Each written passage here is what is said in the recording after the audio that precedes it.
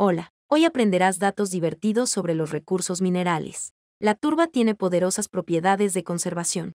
En los pantanos, donde abunda, se encuentran los restos de personas o animales que fueron arrastrados al pantano hace muchos siglos. Sus cuerpos se conservan en condiciones casi perfectas, sin signos pronunciados de descomposición.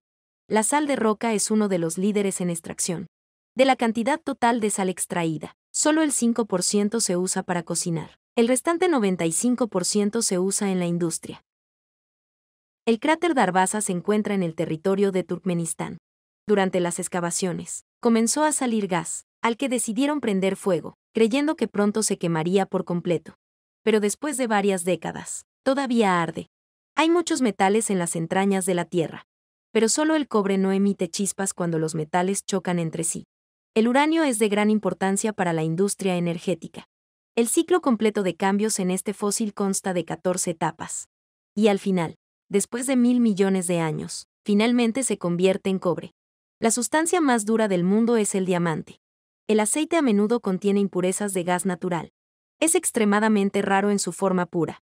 El granito es extremadamente resistente a las influencias externas. Las estructuras de granito se han conservado durante miles de años.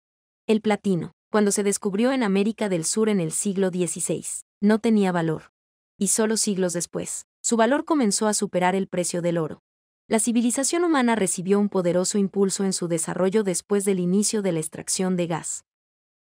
Carbón, petróleo y metales. El oro tiene la mayor flexibilidad entre los metales. Una onza es suficiente para hacer un hilo flexible y fuerte de unos 80 kilómetros de largo. Al principio, el petróleo se recogía de la superficie de los mares y no se extraía de las entrañas de la tierra.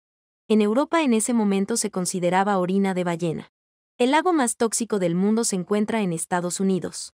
Se formó a raíz de la inundación de una antigua cantera por las lluvias, en la que se extraía cobre.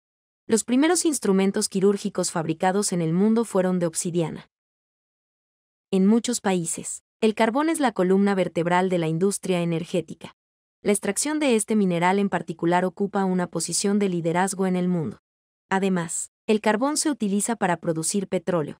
Si la información te resultó útil, puedes dar me gusta y suscribirte al canal. Nos vemos pronto.